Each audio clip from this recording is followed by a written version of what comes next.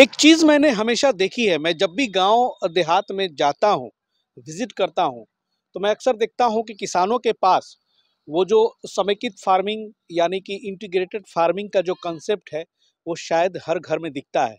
आप जाएँगे तो आपको दिख जाएगा। गाय दिख जाएगी एक, भैंस दिख जाएगी, कुछ मुर्गियाँ दिख जाएँगी, कुछ चूज़े दिख जाएँगे, एक दो बकरियाँ भी दिख जाएँगी। समस्या ये है कि हमारे देश में बहुत सारे ऐसे किसान हैं कि इन चीज़ों को वो कमर्शियली कनेक्ट नहीं कर पाते हैं। इसको एक कमर्शियल फ़ार्मिंग पर नहीं ले जा पाते हैं। कमर्शियल गोट फ़ार्मिंग हो कमर्शियल पोल्ट्री फ़ार्मिंग हो। इन चीज़ों पर अगर थोड़ा सा ध्यान केंद्रित करें तो बहुत ही कम पैसों में बहुत ही अच्छा कमाई कर सकते हैं। और बिहार स्टोरी मीडिया हमेशा कोशिश करती है कि इन चीज़ों को हम दिखाएँ।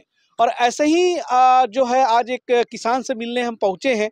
भोजपुर ज़िला में जिनके पास हर तरह के एक दो मुर्गियाँ थी, गाय, भैंस भी पालते हैं, लेकिन वो बकरी पालन में उतरे हैं और उसको अब कमर्शियल लेवल पे कर रहे हैं और अच्छी कमाई कर रहे हैं। मतलब मार्केटिंग भी बहुत बेहतरीन तरीके से एक लो लेवल से कर रहे हैं और बकरी पालन भी जो है आप देख सकते हैं यहाँ पे बकरियाँ शायद ये दो पार्टी से अपना कारोबार शुरू किया था। तो सबसे पहले हम स्वागत कर लेते हैं। सर बहुत बहुत स्वागत है बिहार स्टोरी मीडिया के चैनल पे। प्रणाम, सर। कहाँ पर हैं हम लोग? भोजपुर जिला में कौन सा गाँव है ये? उदवंत नगर है। उदवंत नगर में है। वाह क्या बात है। क्या नाम हुआ आपका? राजू सिंह। राजू सिंह। राजू जी का जो शेड है बिल्कुल ग्रामीण जो सिंपल साधारण शेड होता है शेड की हाइट थोड़ी सी कम मुझे लगी। आ, लगता है कि इसमें आप पहले कोई और काम करते थे इसमें बकरियाँ रखना शुरू कर दिए। पहले मुर्गी फार्म था सर मुर्गी फार्म था ब्रॉयलर वाली। जी। अच्छा अब नहीं रखते हैं वो? नहीं। अच्छा। तो इसीलिए इतनी ऊंचाई कम क्यों रखा? पहले गहराई में था ना तो धीरे धीरे मिट्टी का भरान होते हो गया तो धीरे धीरे ऊँचा हो गया। अच्छा इसलिए? तो दिक्कत नहीं होती है बकरियों को रखने में? नहीं दिक्कत कुछ नहीं होती अच्छा अभी जो आपके फार्म पे है आ, फार्म कहें इनका घर भी तो यही हुआ आपका? जी। तो अभी कितनी बकरियाँ हैं आपके पास? छोटा बच्चा मिला के सब इक्कीस हुआ है। छोटा बच्चा मिला के इक्कीस गो? हाँ। अच्छा कब शुरू किए थे ये? ये लॉकडाउन के करीब में हम आए थे पहले बाहर रहते थे अच्छा। लॉकडाउन के करीब में आए थे। जी। सुना है कि दो पाठी लाए थे? जी जी दो पार्टी लाए थे। अच्छा और ये भी सुना है कि सर आप बड़ी बेहतरीन तरीके से इसको होली में माल भी निकालते हैं बेचते भी हैं। जी। अरे वाह क्या बात है। अब की होली में कितना बेचा? पिछला होली में पाँच सात बेचे थे। सात खसी। जी। कितने वज़न की तैयार हो गई थी खसी आपकी? आठ किलो नौ किलो की आठ किलो नौ किलो की। जी। अमूमन क्या रेट मिल गया एक खसी का? सात सौ रुपए किलो बेचे थे। सात सौ रुपए किलो? होली में इन्होंने माल बेच लिया। एक साधारण गाँव में थोड़ी सी तकनीक का इस्तेमाल थोड़ी सी बुद्धि का इस्तेमाल करके आप सोचिए बकरियाँ तो हर दरवाजे पे मिल जाएँगी। लेकिन भाई लोग ये सोच लेते हैं कि चलो भाई गाँव में है थोड़ी सी जगह है तो मुर्गी ऐसी रख लेते हैं एक दो एक दो बकरी पाल लेते हैं एक दो गाय वाय पाल लेंगे। सात खसी और सात सौ रुपये किलो के हिसाब से अच्छी खासी कमाई। तो होली में ही केवल निकालते कि ऐसे भी कोई आता है मांगने तो देते हैं? ऐसे भी दे देते हैं लेकिन अधिकांश होली के माल तैयार हो जाता है हाँ, आपका? हाँ होली तैयार हो जाता है। अच्छा तो अभी जो यहाँ पर फार्म पे है सर ये ब्लैक बंगाल का ही ब्रीडर नज़र आ रहा है। तो गाँव का वो बोका है कि आपने स्पेशल इसको मंगाया है? हमारा ही छूटा हुआ है। हमारा ही छोड़ा हुआ है हाँ। अच्छा चलिए। और अभी जो है और खसी आपका इस बार होली के लिए क्या क्या तैयार तैयारी है? पाँच पाँच खस्सी पाँच खस्सी तैयार हो रहा है। हाँ, पाँच खस्सी है तैयार में। मदर गोट कितने हैं? मदर गोट अभी चार है और चार पाठी है जो एक दो महीना में बच्चा देने वाली है। अच्छा चार पाठी है। हाँ। अच्छा।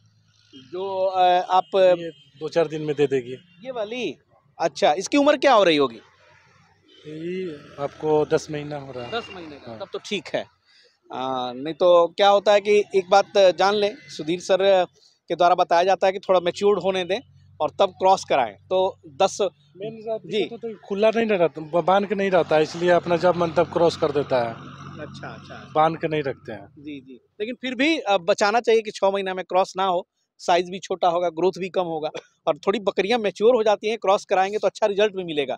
तो मुर्गियाँ भी कुछ पाल ले पहले से तो अनुभव ब्रॉयलर का था लेकिन आप कुछ आजकल एफ़ एफ़ जी हैं क्रॉयलर है देसी मुर्गी है सोनाली है हालाँकि आपके यहाँ ऐसे दरवाजे पे तो कुछ घूम रही हैं लेकिन इसके साथ अगर आप कर लेंगे तो मेरे ख्याल से वो ज़्यादा बेटर रहे। तो आगे आगे सामने जो रूम है उसमें सोचे हैं डालने के लिए। तो और डालने के लिए इसी के सोचे हैं कि बच्चा निकल कर। अच्छा अच्छा। हाँ। ओके। और देख सकते हैं आ, सर का जो है यहाँ पर टाट के बोरा से जो है ये खिड़की उड़की ढक दिन है और इसी में जो है बकरी को डाल देते हैं। बकरियाँ कम्प्लीटली चराई पे होती हैं आपकी। और तो अलग से कुछ दाना पानी नहीं देते हैं खाली पानी पिला रहे थे दाना वगैरह अलग से मंगाते हैं क्या? दाना नहीं देते हैं ऐसी चोकर भूसा खिलाते हैं अच्छा यहाँ पे। चराई पर क्या क्या उपलब्ध रहती है? क्या खाती हैं आपकी बकरियाँ वैसे? घास भी खाती है कि हाँ, सभी सभी प्रकार के घास है। यहाँ बबुल वबुल के भी वो खाती हैं कांटेदार झाड़ी भी खा लेती हैं। हाँ थोड़ा बहुत। अच्छा कोई परेशानी नहीं आती है? नहीं कोई परेशानी नहीं है। आमतौर पे जो बकरियाँ चराई पे रहती हैं उनकी एक्सरसाइज होती है और इसलिए बीमारियाँ कम आती हैं। ऐसा सुधीर सर के साथ घूमते घूमते जो है मैं भी कुछ कुछ सीख गया हूँ। और सुधीर सर से बात होती है? एक बार मामा ही गए थे तो मामा बात कराए थे। अच्छा अच्छा उनका वीडियो वगैरह देखते हैं कि नहीं? देखते हैं। देखते हैं कैसा लगता है? ठीक लगता है। ठीक लगता है? लगता है कि आपके बकरी पालन में कुछ हेल्प होता है उससे? जी हेल्प तो होता है। हेल्प होता है अभी अभी पिछले बार सर्दी खांसी हो गया था तो मैंने सरसों का तेल पिलाया था। सरसों का तेल पिलाया हाँ, था। हाँ। अच्छा अच्छा। तो ऐसे क्या क्या आपको कर- वीडियो देख करके वीडियो ही देख कर ऐसे और क्या परेशानी आई? कुछ परेशानी कुछ परेशानी नहीं है।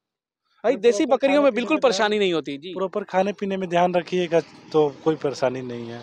देख रहे फार्म इतना नज़दीक होने के कारण भी हमारे पास कोई परेशानी नहीं है। जी जी जी। नहीं तो फार्म नज़दीक है तो बहुत परेशानी होता है ठंड ये हाँ, लेकिन हाँ, हमारे पास तो कुछ भी नहीं है। कुछ भी नहीं है। बहुत साधारण बहुत साधारण। आप देख सकते हैं दिखाइए जरा कैमरा। आइएगा सर आप भी आइए। और देखिए दरवाजे पर एक गाय बंधी है और सर ने अभी थोड़ी देर पहले इसको अपना भूसा उसा दे दिया है सान करके। और यहाँ पर अभी आग जलाने के लिए आप देख रहे थे प्रयास कर रहे थे धुआँ करते हैं। जी। धुआँ करने का मकसद क्या रहता है? धुआँ से मच्छर मच्छी नहीं लगेगी। मच्छर माछी नहीं लगेगा। तो दरवाजे पर ये जो है धुआँ भी ये करने का जुगाड़ रखते हैं कि भाई मच्छर वच्छर ना आए। और बहुत साधारण सा शेड है कहीं कोई इसमें आपको बहुत बड़ी चीज़ नहीं दिखेगी। एक इधर है और एक उस तरफ़ है जिसमें बकरियाँ रहती हैं है ना? और एक तरफ़ यहाँ पे देखिए एक यहाँ पर जो है पहले इसमें मुर्गियाँ रहती थी सर ने इसको बना दिया है बकरी का शयन कक्ष।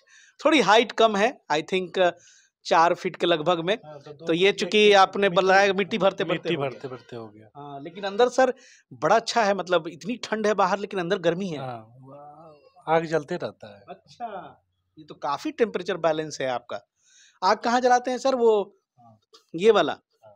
इसको क्या बोलते हैं? घेना भेनाड़ी ये भेनाड़ी में आग लगा देते हैं। आप हाँ, इसी पर गोईठा जला देते हैं अरे और इसके ऊपर रख देते हैं कहूँ कि बाहर इतनी ठंड है और अंदर इतना अच्छा लग रहा है। अभी- रात का आग अभी तक होगा। अच्छा। कहाँ पे आइए जरा? कैमरा दिखाया जाए ढूंढा जाए कहाँ पे जलाते हैं ये? अच्छा यहाँ पे देखिए। अरे वाह! देखिए। वाह भाई क्या कंसेप्ट है। अब बताइए ना बल्ब ना हीटर एक पैसे का खर्च नहीं और ऐसे पता चल रहा था कि कुछ नहीं है और अभी इन्होंने हाथ लगाया तो देखिए धुआँ उठने लगा। और इसी की वजह से अंदर में टेम्परेचर बिल्कुल मेंटेन है। वाह क्या बात है। आइए सर बाहर निकला जाए। अच्छा सर आप यहाँ पे सब देख रेख आप अकेले ही करते हैं? घर में वैसे कौन कौन है? Mummy papa. मम्मी पापा हाँ भाई ये तो बाहर रहता है पहले यहाँ पर ही रहता था लेकिन अब बाहर रहता है। अच्छा। किसी तरह की परेशानी नहीं होती सारा आप वन मैन आर्मी की तरह कर लेते हैं। हाँ। काफ़ी सुबह उठना पड़ता होगा हम्म क्योंकि गाय भी है। सुबह नहीं उठना पड़ता है हाँ। हम लोग। हम तो सात बजे उठते हैं। अच्छा सात बजे हाँ। उठते हैं? एक गाय है एक, एक गाय ज़्यादा समय देना नहीं है। जी। दूध बेचते नहीं है दूध अपने घर ही यूज़ होता है। अच्छा हम्म। दूध घर ही यूज़ हो हम्म। है। सात बजे उठ करके बकरियों का जरा सा दिनचर्या बता दे क्या क्या करते हैं? सुबह उठ के पहले गाय को खिला गाय दूहने के बाद में बकरी को आठ बजे ठंड के मौसम में निकालते हैं नहीं तो गर्मी के मौसम रहता है तो सुबह निकालते हैं। जी।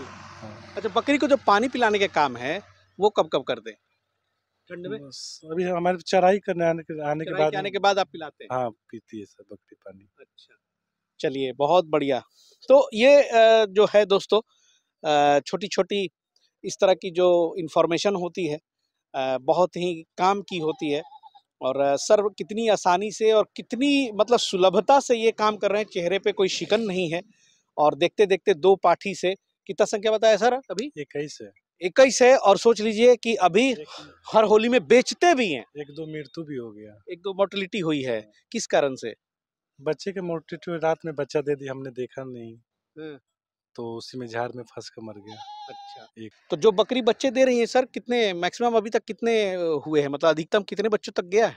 तीन बच्चे देती तीन बच्चे? हाँ। अच्छा साढ़े तीन देती हैं? नहीं एक बकरी तीन देती है। कोई कोई तीन भी देती कोई- है कोई कोई दो पार्टी एक देती है। अच्छा। कोई पार्टी दो भी दे देती है फ़र्स्ट में। वो काली वाली पार्टी है जो फ़र्स्ट में दो बार दे दो बच्चा अच्छा। देती है।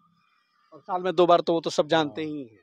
और इसलिए जो है ब्लैक बंगाल बकरी जो देसी बकरी है उसकी संख्या जो है बहुत तेज़ी से बढ़ने लगती है।